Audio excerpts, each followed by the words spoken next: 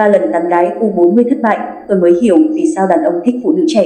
Tôi tìm hiểu phụ nữ U40 vì nghĩ mình cũng đã cứng tuổi, không ngờ hẹn hò cả ba cô đều thất bại thê thảm, lúc đó mới hiểu cưa cầm gái trẻ dễ dàng, đơn giản hơn nhiều. Tôi là Mạch Đông, một thanh niên thành phố điển hình, mải mê xây dựng sự nghiệp đến mức quên cả yêu đương.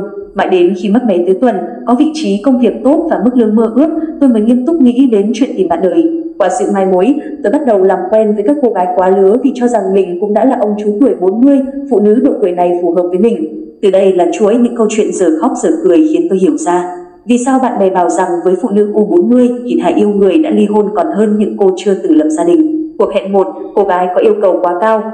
Kiều Linh gần 40 tuổi, là bạn lâu năm với bạn thân của tôi. Cô ấy có công việc ổn định nhưng cuộc sống khá đơn điệu. Lần đầu hẹn nhau, Kiều Linh ăn mặc giản dị, nếu không muốn nói là có phần quyền toàn. Cô không ngại chia sẻ về những mối tình đã qua cũng như bày tỏ sự mất lòng tin vào đàn ông ngày nay. Kiều Linh luôn nhấn mạnh cô muốn chồng mình phải có thu nhập trên dưới 50 triệu đồng, có nhà, xe đầy đủ. Bên cạnh đó, anh ấy phải là người đàn ông của gia đình, luôn có mặt ở nhà trước 20 giờ và ở nhà vào dịp cuối tuần. Vừa nghe xong chỉ biết cười buồn. Dù thu nhập của tôi vượt qua con số Linh nêu, nhưng những yêu cầu trên trời khác mà cô ấy đặt ra ngay trong buổi đầu hẹn hò khiến tôi chỉ biết lắc đầu ngán ngẩm.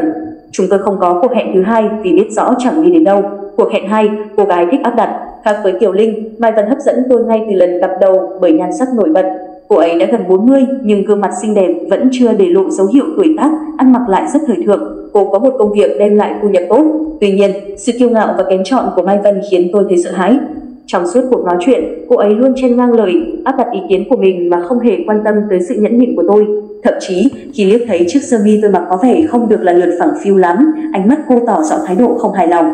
Kiều Linh còn nói mát mẻ, anh hẹn hò với bạn gái thì cũng để ý trang phục một chút sao cho xứng đôi với lứa. Cuộc gặp với Mai Vân khiến tôi hiểu thêm lý do vì sao nhiều đàn ông e ngại các cô gái muộn chồng. Cuộc hẹn ba, cô gái coi mình là trung tâm. Ngọc Thanh 35 tuổi, là giáo viên của một trường tiểu học. Do tính chất nghề nghiệp, ở cô luôn toát lên vẻ điềm đạm, nhẹ nhàng. Gặp Ngọc Thanh, tôi cảm thấy như mình đã tìm được đúng người. Sau buổi hẹn đầu, chúng tôi thường xuyên gặp gỡ để có nhiều thời gian tìm hiểu nhau hơn. Tuy nhiên, khi bắt đầu yêu, tôi có phần sợ hãi với tính cách thích coi mình là trung tâm của cô ấy. Không chỉ thường xuyên đòi hỏi, tỏ ra khó chịu mỗi khi tôi làm phật ý, Ngọc Thanh còn sẵn sàng bắt tôi bỏ công việc đang bận rộn để chạy tới gặp.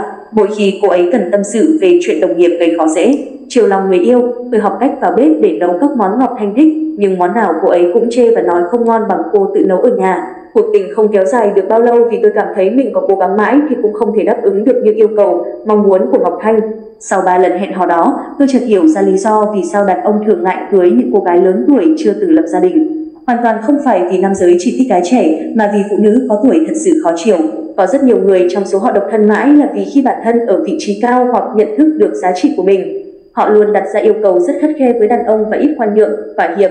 Vì thế, khi mới bước vào tìm hiểu, họ không có sự kiên trì, thường dễ mất hứng vì các khuyết điểm của cánh mày dâu mà quên rằng hôn nhân là quá trình để cùng nhau chia sẻ, hoàn thiện.